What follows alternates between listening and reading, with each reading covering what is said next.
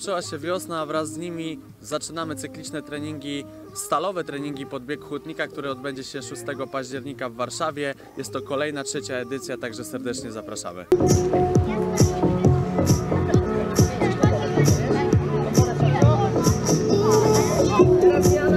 Przed nami przeszkodowy bieg hutnika e, i tradycyjnie zaczęliśmy przygotowania do tej imprezy.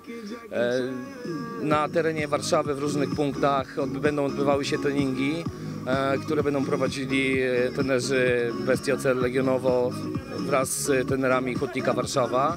Będzie to 7 takich treningów. E, Na każdym z tych treningów będziemy trenować zarówno technikę, e, siłę, e, jeśli chodzi o przeszkody, ale także, ale także elementy biegowe, wytrzymałościowe. Także bardzo serdecznie zapraszamy wszystkich mieszkańców na te treningi. Te treningi są darmowe, można przyjść z dziećmi, są specjalnie przygotowani trenerzy, którzy zajmą się dzieciakami.